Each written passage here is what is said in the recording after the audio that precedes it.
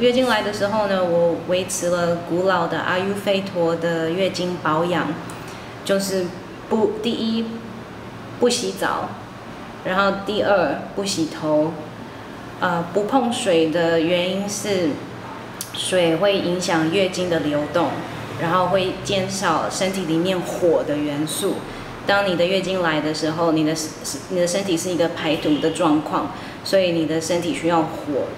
的元素，还有肝、肝气，彻底排掉月经的经血，这样身体才会干净。所以，如果你洗澡或者是洗头的话，或者是碰水的话，嗯，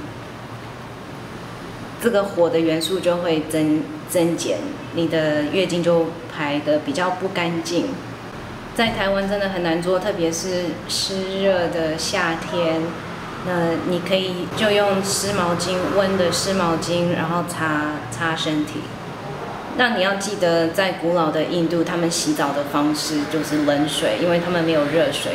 所以，如果你没有办法跟我一样不洗头、不洗澡的话，呃，尽量不要让身体碰到冷水，然后减少、减短洗澡的时间。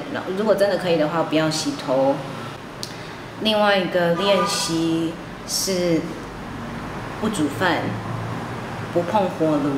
然后呢，如果你喜欢种菜，呃，有一个小花园的话，减少你的园艺活动。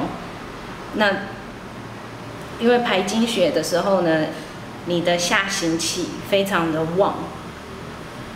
植物生长能力需要上行气，从土里冒出来，然后叶子长出来。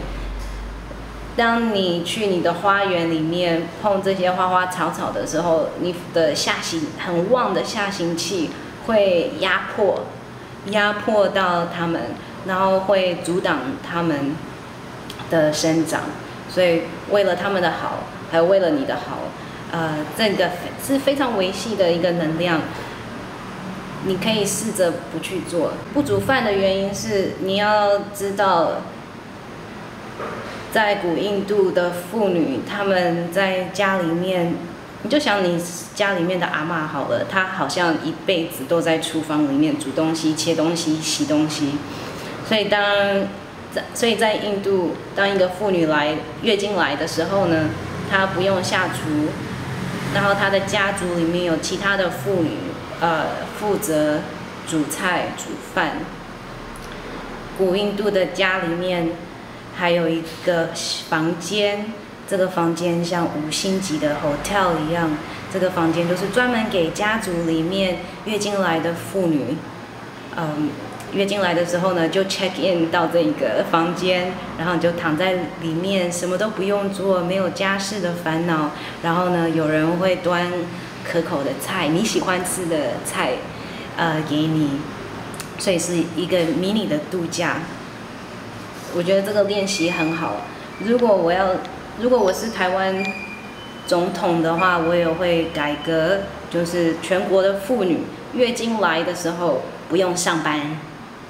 这样，你会看到，当你月经来的时候呢，好好的呵护身体的话，你的能量反而会越来越强。